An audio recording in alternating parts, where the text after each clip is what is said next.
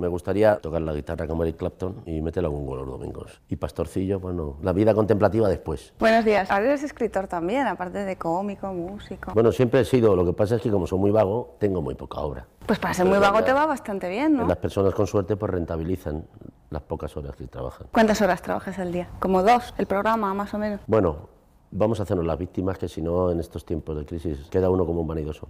Digamos lo de Unamuno, no soy un vago, mi mente no descansa. Como decía Unamuno, te duele España también, ¿no? En este libro la pones a parir. Pongo a parir a aquellos que tratan a España con sumo desprecio. Yo creo que estamos ante lo que sería el neofascismo del siglo XXI. Está perfectamente representado en nuestro gobierno. Admirador de una dictadura que ejercía en sus tiempos como tal. Tú estás enfadado. Estoy perplejo por cómo la- la- los trabajadores de este país nos han puesto en manos de estos auténticos genocidas del sistema. Estos son los auténticos antisistema. Dices en el libro también que la gente te para por la calle y te pide que le soluciones las cosas. Claro, te ven ahí, la gente se cree que tienes poder de algo y ni siquiera el contenido lo decido yo. Yo leo todo lo que digo en el programa. ¿Y te han dado algún toque ya?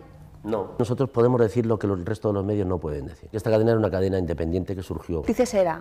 Sí, sí, porque ahora la ha absorbido otra, otra cadena. Ahora todos los medios de comunicación pertenecen a grandes corporaciones y condiciona totalmente la línea editorial. Menos a vosotros. Pues nosotros ya éramos un negocio cuando nos compraron. Porque un informativo normal no, no puede salir diciendo, hola, buenos días, hoy se ha aprobado la ley de educación, que es un auténtico bodrio. Pero nosotros sí. Y yo digo, esta ley, señores, es una mierda. Porque lo es. ¿Te resulta pesado haberte convertido para parte de la sociedad en un líder, en el azote de la derecha, etcétera? Sí. Porque, bueno, pues es ejercer todo el rato. Yo llego a Barajas, están los de la limpieza, y me vienen y me cuentan, "Jo, Wyoming", los de las maletas me cuentan su rollo. En el avión, las azafatas, y de remate me dice, el, el comandante quería saludar. Voy a saludar al comandante y me cuenta, alguien que tiene que arreglar eso, se planta en una foto con todos y dicen, y todo esto que está pasando es una maniobra orquestada para hundir al Partido Popular, pa, pa, pa, pa, pa".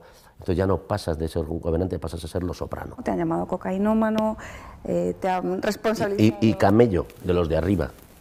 Bueno, que, que como los de arriba es ahora Rajoy, si, si se refieren a, a que soy el camello de Esperanza Aguirre. No sé, me parece un poco absurdo.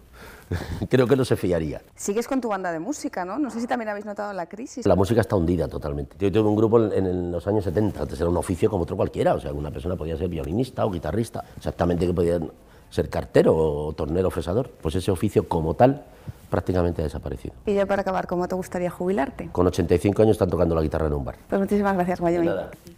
Me tira una buena soflama, ¿eh?